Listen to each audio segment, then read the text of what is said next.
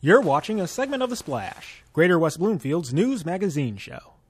When it comes to accommodating both pedestrians and vehicles in the same area, the balance can be hard to find. Reporter Samana Sheikh has the details. Hi everyone, this is Samana Sheikh reporting for The Splash. Welcome back to another Splash Traffic Update. This week, we're going to talk about sidewalks. The pedestrian sidewalks will be within the road right of way. They'll probably be anywhere from 15 to 20 feet off the back of curb on, um, on the west side and on the east side. So they'll be in a safe location uh, so pedestrians don't feel that they're walking adjacent, immediately adjacent to traffic. There'll be some buffering and separation through some landscaping um, that each of the commercial uh, businesses will be doing, but there'll also be a green belt, if you will, between the two. The sidewalk installation is supposed to help make residents' lives easier by helping them with navigating around West Bloomfield. It's like such a busy road, a lot of people, a lot of cars. It's kind of fun to go walk there, with my dog here and there.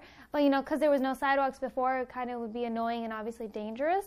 So I would never get a chance to. But now that they're building one, it comes conveniently. I can take my dog for a walk, I can stop at a shop, get something to drink. It's kind of nice, perfect for those summer days or even in the winter. Pedestrian activated cross signals are being added. The next step is to beautify the area. When the construction is completed, we are then going to be looking at uh, a landscape concept to put in uh, streetscape improvements to help one uh, beautify the area as well as also uh, continue to improve uh, pedestrian safety. Construction will be complete by the end of November. This is Samana Sheikh reporting for The Splash.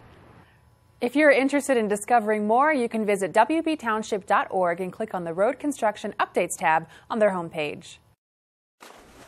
Thanks for watching a segment of The Splash. To catch the entire show or other segments, watch us on Comcast Channel 15 or AT&T Channel 99, or look us up online at thesplash.tv and listen to us on WBLD 89.3, the all-new Lakes FM.